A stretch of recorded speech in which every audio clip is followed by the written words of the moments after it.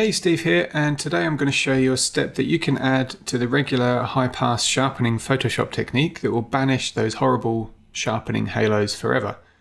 Now, if you've ever struggled to get your images to look super sharp, but without looking crunchy and over sharpened, then in fact, no matter which sharpening technique you actually use, whether it's the high pass filter or something else, then this technique will help. If you're new to my channel and you want to see more videos like this, then remember to hit that subscribe button down below. And if you like this video, then just give it a thumbs up too.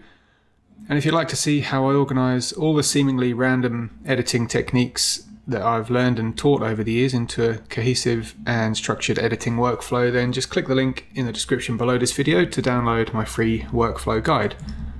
So before we actually run through the technique, let me just zoom in on this rock here in the middle of the frame. This is what we're going to be concentrating on.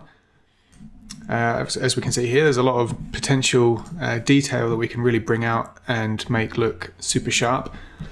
So the, the first step, if you're not familiar, I'll just run through. It's quite simple. The um, the high pass filter sharpening technique involves basically duplicating your layer. Um, I'm working on just a single layer here because I've merged, for the purpose of this demo, I've merged the layers all into one.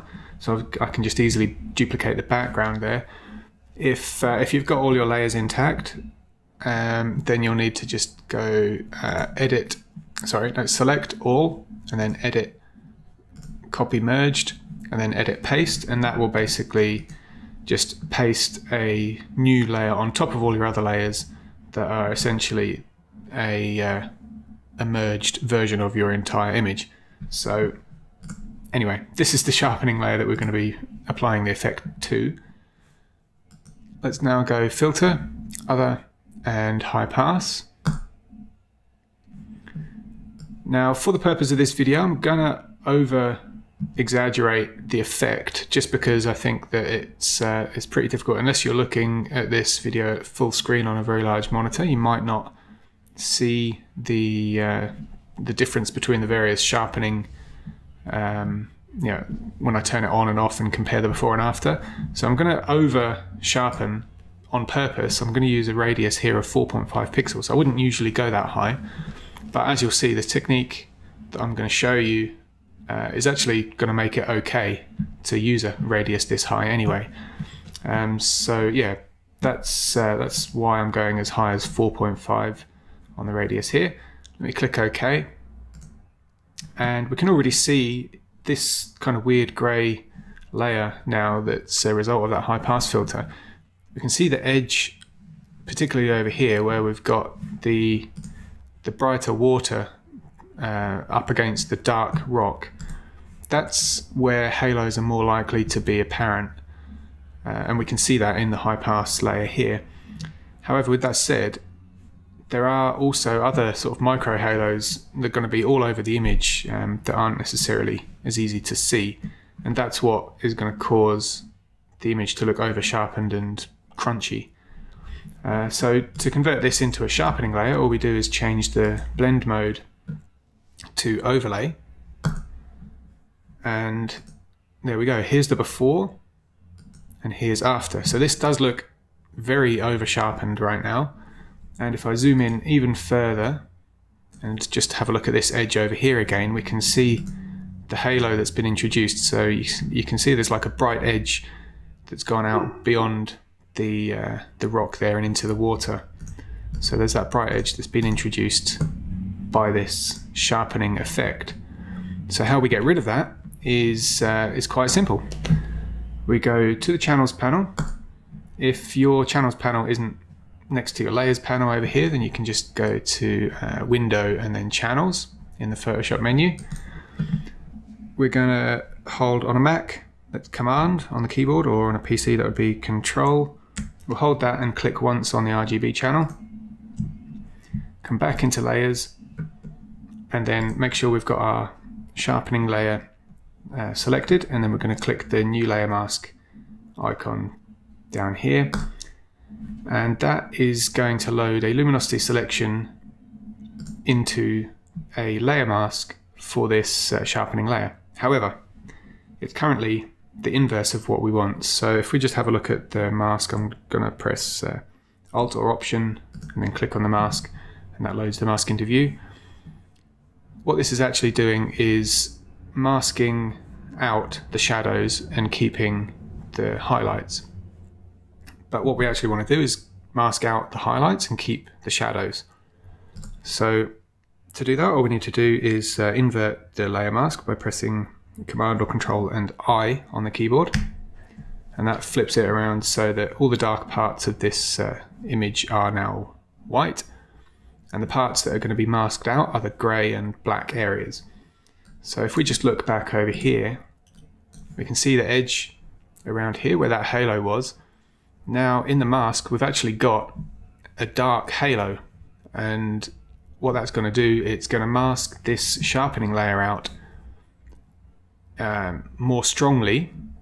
So it's going to remove it more from that halo specifically than from the, the water over here, which is uh, slightly less dark in the mask. So what that looks like now, if we just come back to the actual layer itself and toggle this off and on, we can see that halo is greatly reduced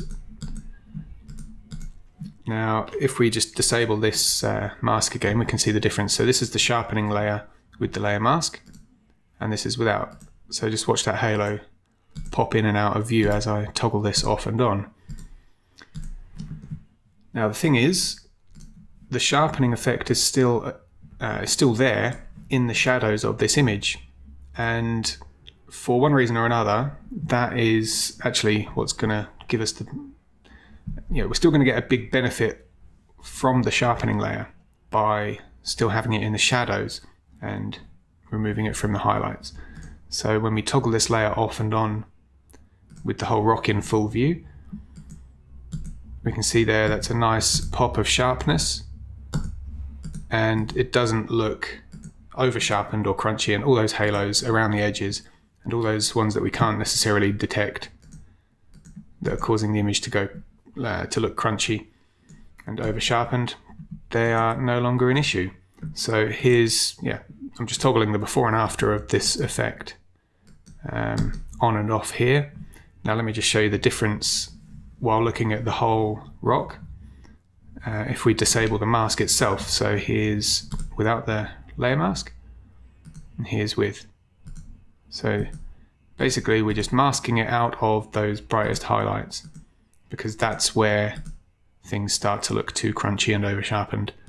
Whereas in the shadows, you can apply this effect a lot more strongly and it's all good.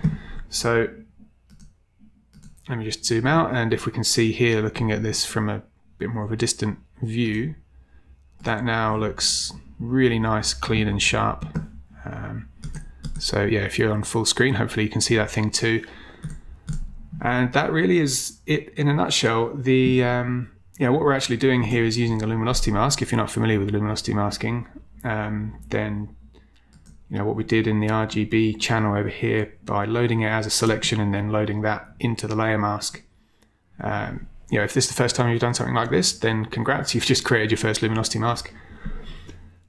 Um, and yeah, there is a lot more that we can get into to further refine the mask itself if um, you know if this first um, iteration hasn't quite reduced the halos by enough. Uh, but that's probably beyond the scope of this video. I've got some more um, videos on my channel about luminosity masking if you want to sort of dive a bit deeper into uh, into how to refine your luminosity masks. Um, but this basically in a nutshell is the technique. So uh, yeah, I hope you found this video useful. And remember to hit subscribe on my uh, channel if you want to see more videos like this. And uh, yeah, I hope you do. And I hope to see you next time. Cheers.